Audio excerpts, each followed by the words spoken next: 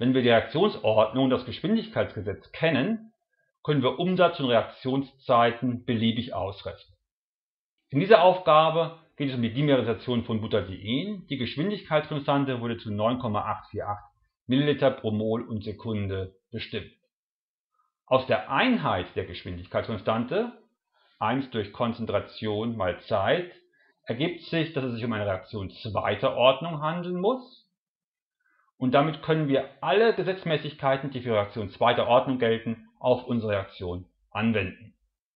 Reaktion zweiter Ordnung heißt zum Beispiel, dass R gleich K mal Konzentration hoch 2 ist wenn wir die Anfangsgeschwindigkeit ermitteln wollen, müssen wir einfach nur die Anfangskonzentration einsetzen und die Geschwindigkeitskonstante und erhalten einen Wert von 2,46 mal 10 5 Mol pro Liter und Sekunde.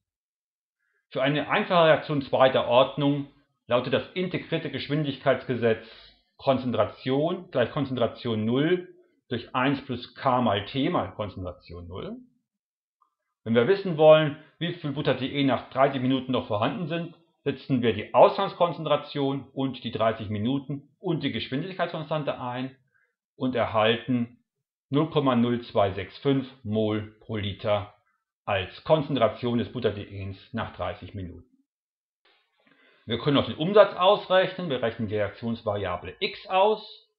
Anfangskonzentration minus aktueller Konzentration 0,02356 und setzen diese in Relation zur Anfangskonzentration und haben dann einen Umsatz von 0,47 oder 47 Für die Halbwertszeit einer Reaktion zweiter Ordnung gilt, dass diese nicht konstant ist, sondern mit der Zeit immer länger wird. Es gilt die Gleichung T1,5 ist 1 durch K mal Ausgangskonzentration.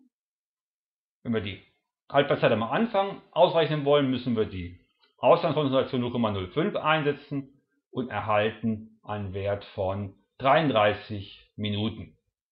Dieses Ergebnis ist konsistent mit dem, was wir vorhin ausgerechnet haben. Nach 30 Minuten sind ungefähr 47% Umsatz erreicht, nach 33,8 Minuten sind genau 50% Umsatz erreicht.